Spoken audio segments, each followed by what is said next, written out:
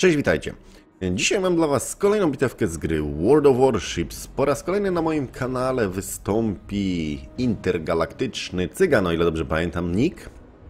Yy, Widzieliście go już jak płynął okrętem 10-tierowym i tym razem również zasiada za sterami 10-tierowego okrętu Dem Des Moines.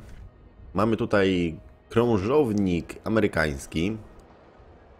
Ja oczywiście okrętach dziesiątotierowych wiem tyle co nic. No wiem, że sobie pływają, strzelają, no i więc wypowiadać się nie będę, bo specjalista ze mnie jak z dupy trąba. Ale kolega, kolega jak widzimy dychami sobie lubi pogrywać, więc zobaczymy jak mu wyjdzie mm, na tym, jak mu wyjdzie bitewka na tym krążowniku. Z tego co kojarzę z różnych filmików, mm, no to Des Moines jest okrętem, który strzela całkiem, całkiem szybko. Tak mi się przynajmniej wydaje. Zobaczymy jak to będzie wyglądało. Aczkolwiek, no, co do amerykańskich krążowników, no to ja ich raczej robić nie zamierzam. Tak naprawdę w ostatnim czasie w ogóle gram bardzo mało w World of Warships. Czasu na wszystko nie starcza. Zresztą w WOTA też gram mało, więc ogólnie mm, gdzieś tam powiedzmy, że produkcje Wargamingu troszeczkę poszły na bok. E, Do gry włączył się przecież Blizzard, e, w sensie mówię do gry, że, że po gry sobie przypomniałem o moich tytułach tej firmy, tak, czyli gdzieś tam Diablo odkurzyłem, Hearthstone'a się troszkę wkręciłem, Teraz jeszcze e, CD Projekt Red e, z Gwintem też, e, bardzo, bardzo ciekawy tytuł na PlayStation. Prawdopodobnie jak już to oglądacie, no to na PlayStation już sobie pykam w Tekena 7, na którego też długo czekałem. Gdzieś tam przecież jeszcze jest Horizon, więc tytułów do grania jest dużo. Nie, nie tylko trzeba grać w gry Wargamingu, nie tylko w te gry MMO. No ale wiadomo, że Wiadomo, że World of Warships jest fajną gierką, zdania o tym nie zmieniłem. Yy, No i cóż, trochę pogadałem, żeby, żeby za jakoś tutaj zapełnić tę pierwszą fazę bitwy, kiedy na ogół się płynie. Teraz nasz bohater będzie tutaj robił slalom, ładnie ominął torpedy, odpalony radar i strzelamy do Giringa. To nie jest aż taki spamer jak y, z tego co widzę jak okręty brytyjskie, ale też naprawdę fajnie, fajnie szybko strzela. Szczerze mówiąc, średnio jestem zadowolony y, z tych powtórek, bo widzę, że to jest chociaż fakt faktem, że ja już nagrywałem właśnie mm, powtórkę intergalaktycznego i wtedy takie same akcje były y, z pewnymi lagami. Nie wiem, czy to jest wina obecnego systemu powtórek w WoWsie, czy to jest e, po prostu problem naszego bohatera, że ma jakieś mikrolagi. Dajcie proszę znać w komentarzach. Czy wy też macie takie jakieś akcje przy oglądaniu powtórek? Właśnie, to jest ważne w graniu amerykańskimi krążownikami, z tego co gdzieś tam słyszałem. Proszę potwierdźcie w komentarzach, czy mam rację. Pierwsza rzecz, ustawiać się przodem, gdyż przodem potrafimy coś tam nawet odbić. Druga rzecz, wykorzystywać właśnie przeszkody terenowe, czyli wyspy, e, bo nasza parabola e, lotów, e, parabola lotu pocisków jest dość specyficzna, dzięki czemu właśnie możemy się skitrać gdzieś za jakąś przeszkodą, no i strzelać sobie za niej, kiedy na przykład przeciwnicy mogą mieć problem z trafianiem nas, znaczy akurat tutaj intergalaktyczny trochę pozbierał, Cały czas spruje z burzaków, w tym momencie ma zrobione 23 tysiące uszkodzeń. I ciofamy.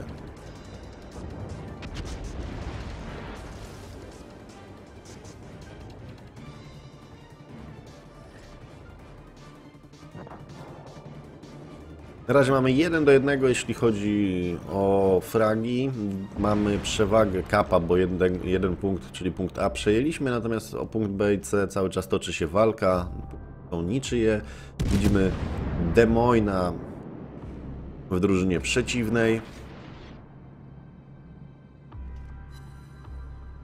Swoją drogą ciekawy jestem, e, tutaj pytanie zwłaszcza dla graczy już tych bardziej doświadczonych, którzy mają powiedzmy kilka dziesiątek, które krążowniki według Was są najprzyjemniejsze do grania, jeśli chodzi o dychy i dlaczego? Proszę, doradźcie mi tutaj, graczowi takiemu, który, niedzielnemu, który gdzieś tam się nie śpieszy, które według Was krążowniki są, e, są do grania najprzyjemniejsze. Ja chciałbym gdzieś docelowo zrobić ZAO i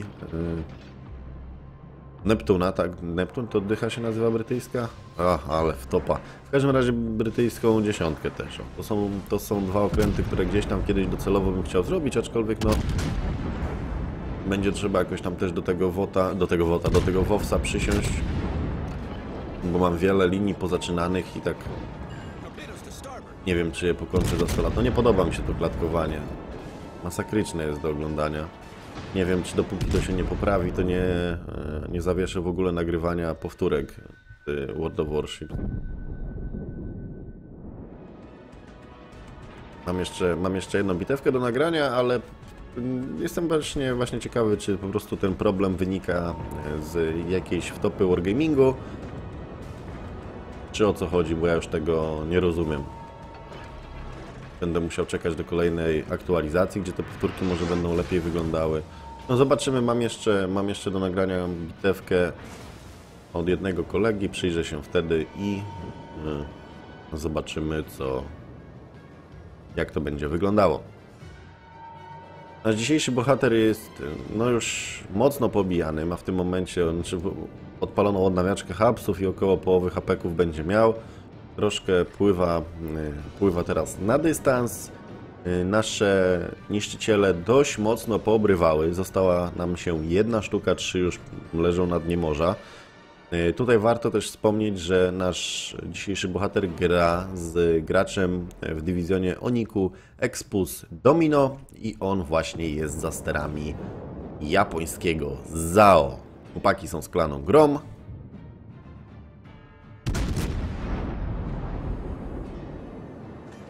Czterdzieści jeden tysięcy, tyle ma intergalaktyczny na chwilę obecną nastukane. Wróg przejął KPC. Mamy przewagę w punktach zdobytych, ale... Ale to jest jeszcze daleka droga do zwycięstwa. Jeśli chodzi o fragi, mamy wynik remisowy. Hindenburg wrogi podpalony. Zużył, jak widzieliśmy, zestaw naprawczy. Tam grupę naprawczo-ratunkową.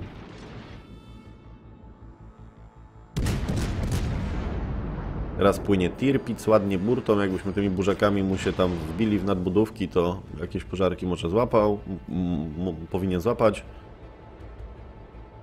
Widzimy aż trzy wrogie okręty mają nas zaznaczone jako swój cel główny, teraz już cztery, więc trzeba tutaj się gibać. Jest Montana w oddali na 12, na 12 kilometrze. Nie wiem, te przeskoki są dramatyczne, ale wcześniej wiem, że też jak nagrywałem właśnie y, powtórkę intergalaktycznego, więc sprawdzę intergalaktyczny, czy na następnej też tak będzie, jeżeli tak, to nie twoja wina, a jeżeli nie, no to znaczy, że musisz chłopie jednak zostawić już ten internet na modemie i zainstalować coś poważniejszego. 60 tysięcy mm, uszkodzeń zrobionych.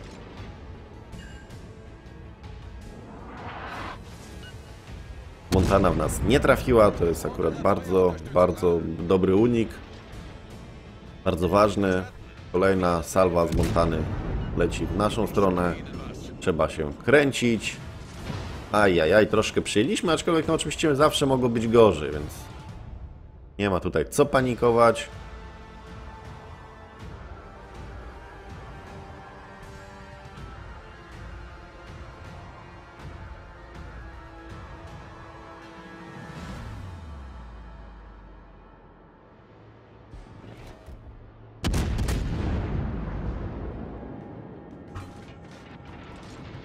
Kolejne burzaczki lecą w stronę tego pancernika amerykańskiego, który ma dostać buffa jeszcze jak to nagrywam, no to jest zapowiedziany buff. Przede wszystkim mają yy, troszkę zmienić umiejscowienie cytadel, co mnie, co mnie akurat szczerze mówiąc cieszy, bo ma to też dotknąć Missouri, a Missouri gdzieś tam przecież w porcie sobie mam i wiele innych fajnych okrętów, ale czego nie mam? Czasu. Nie, już tak na poważnie jest tylko jeszcze jeden okręt chyba z premek, który bym gdzieś tam sobie mm, chciał zakupić. Bardziej dla jaj niż dla, dla jakiegoś skill, skillowego grania, bo gracz ze mnie na lotniskowcach to jest w ogóle dramatyczny, ale Kaga mnie interesuje przede wszystkim, no ja mam no nie chcę używać wulgaryzmu, więc powiem świra, na punkcie japońskich y, okrętów. Kiedyś powiedziałem, że chcę mieć całe japońskie drzewko zrobione i tak będzie. Więc też każdy japoński okręt premium mm, pewnie sobie będę chciał, chciał zakupić. O tak, po prostu dla zasady. Montana ładnie zrywa z, teraz z pepeków, aczkolwiek no płynie, płynie do nas pod takim kątem, że można ją próć. Zobaczcie, za 5400 przy- teraz ta salwa ją dotknęła. Niestety, pomimo tego, że nasz bohater sobie tutaj pruje, pruje, próbuje strzelać, to jednak nasza drużyna troszkę się poskładała i, zaraz praktycznie zrobiło się już wyrównanie, jeśli chodzi o punkty. Natomiast w okrętach mamy, y, mamy stratę. Teraz tutaj cały czas Montana obijana, warto by ją skończyć. Friedrich der Grosse znajduje się niedaleko wrogiej Montany, ale poszły jakieś torpedy we Friedricha. I momentalnie mu się apeki skończyły. Zobaczcie jak Montanka ładnie zbiera i Friedrich der Grosse zniszczył Montanę, nasze Yamato zniszczyło wrogie Yamato i już lepiej to wygląda, zyskaliśmy przewagę, a możemy się teraz skupić na pancerniku niemieckim premium, czyli na Tirpicie. E, Tirpic e, też płynie do nas pod dobrym kątem, dzięki temu te nasze pociski przeciwpancerne robią bardzo ładne uszkodzenia.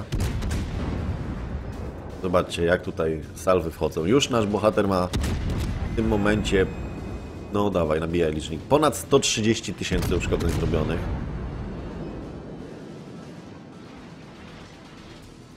Dużym plusem dla nas jest to, że ten y, Tirpitz do tej pory nas olewał. No teraz już tam jakaś salwa, salwa w nas poszła, ale mogliśmy sporo uszkodzeń y, narobić, bo przeciwnicy byli skupieni po prostu na innych y, naszych sojusznikach.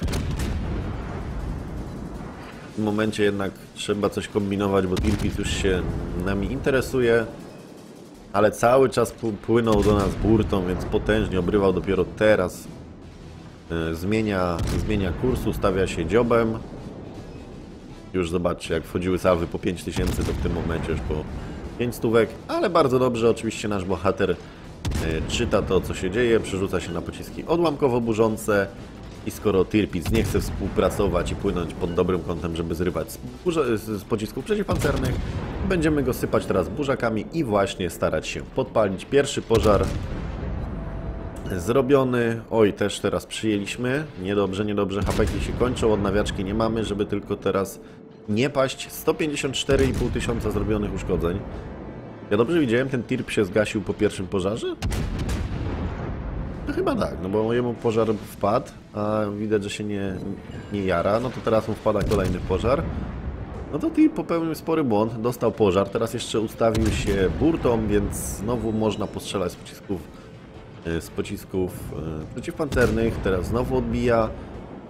No i tutaj idzie agresywna akcja. Idzie, widzę tu będzie wesoło, bo idziemy krążownikiem na blisko z Tirpicem. On ma teraz przecież bardzo dobrą artylerię pomocniczą.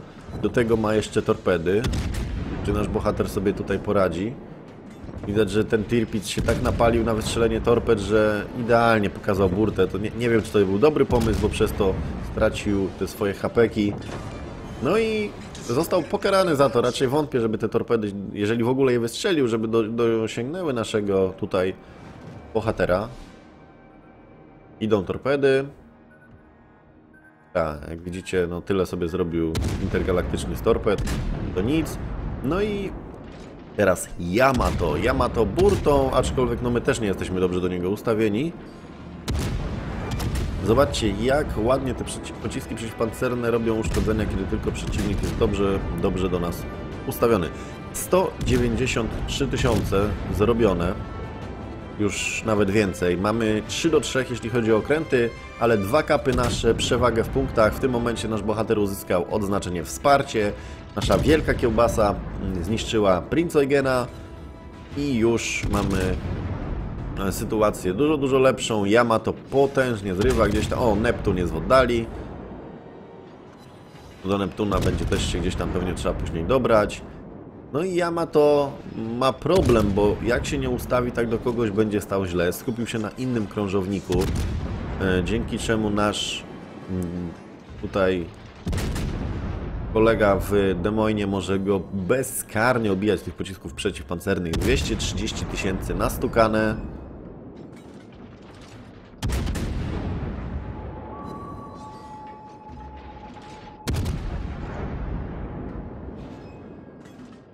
240 tysięcy.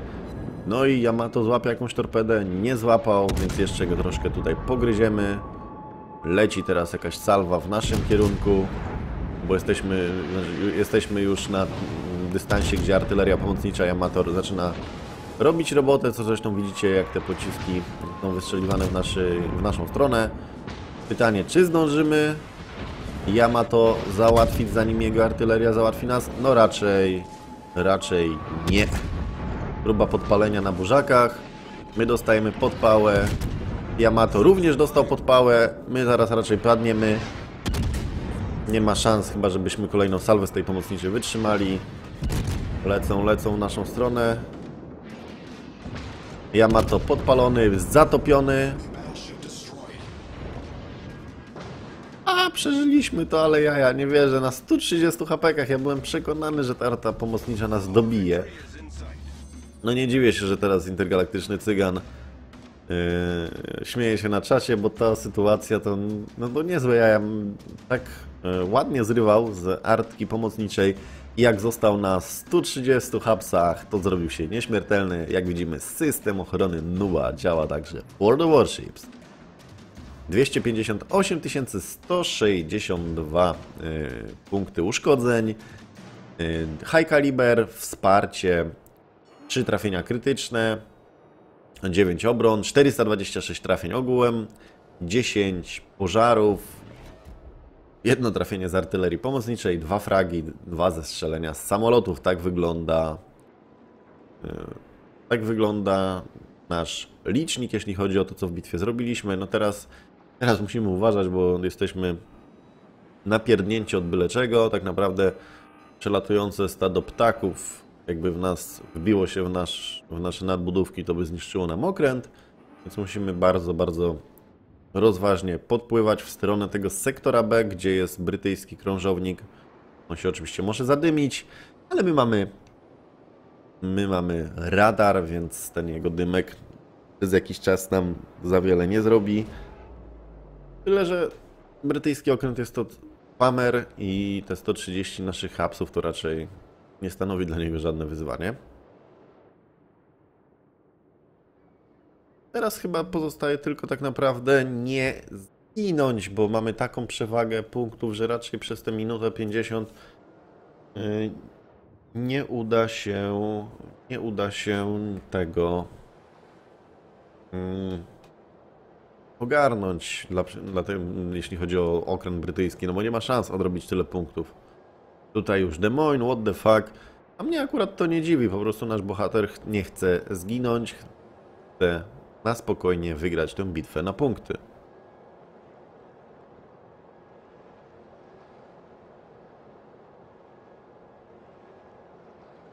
Nie wiem po co ryzykować, żeby nas ten Brytol mógł porozbijać i wygrać na fragi.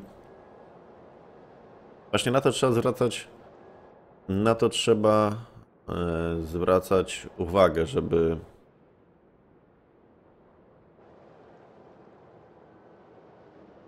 ten Dzigbał. A i tak go Neptun dorwał, zobaczcie. I tak go Neptun dorwał, no tego się nie spodziewałem. Nie wierzę w to, dobra. No wygląda to jak wygląda, ale nasz grosze, gro, grosze. Grosze Kurnfurst ma jeszcze dużo yy, dużo hapeków, więc bitewka będzie wygrana. Zobaczmy na screeny. A screeny końcowe wyglądają następująco. To, co nasz bohater w bitewce zrobił, to już omówiłem, więc powtarzać się nie będę. Uzyskał ponad 5 stówek, jeśli chodzi o kredyty, 6053 punkty expa, 303 free expa. No i cóż, 2690 punktów 2690 punktów bazowego expa, najlepszy wynik w bitwie. Tutaj mamy kolejną stronę. Możecie sobie zobaczyć. Z głównej baterii zrobił 230,5 tysiąca uszkodzeń, z burzaków 79 tysięcy, z pożarów 27 360. No i cóż, za y, tą bitewkę po odliczeniu różnych kosztów uz- zarobiliśmy 206 tysięcy kredek, a no expa, tak jak mówiłem, wpadło 6053, no, natomiast dla dowódcy 8071. Mm, Wielkie dzięki intergalaktyczne jeszcze raz za podesłanie mi tej powtóreczki. Czekam na Wasze komentarze i przede wszystkim na to, jaki jest według Was najlepszy, najprzyjemniejszy do grania krążownik na 10 tierze. A na dzisiaj to wszystko. Zostawcie proszę łapkę w górę, bo to pomaga w rozwoju kanału. A my widzimy się w kolejnych materiałach. Trzymajcie się. Cześć!